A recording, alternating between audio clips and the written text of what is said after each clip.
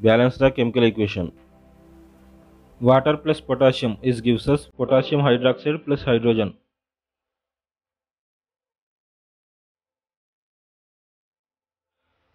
In this equation, the reactants are water and potassium and the products are potassium hydroxide and hydrogen. If you look at this equation, we can see that the equation is not balanced. In the reactants side, there are two hydrogen atoms, one oxygen atom and one potassium atom present.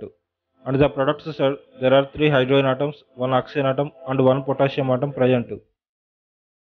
The number of atoms are not balanced on both sides. To balance the chemical equation, we need to make use of coefficients. A coefficient is a number that we place in front of a chemical formula. In this equation, we need to balance the hydrogen atoms. To do this, we need to put a coefficient of 1 by 2 in front of H2.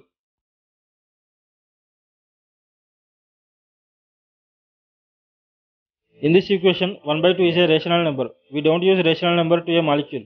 So we need to multiply the equation by a coefficient of 2 to get whole numbers.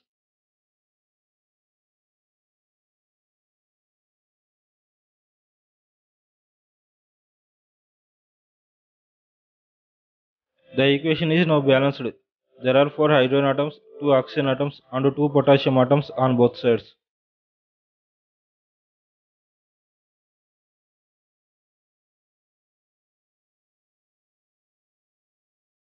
If you like this video, please subscribe my channel and press on the bell icon.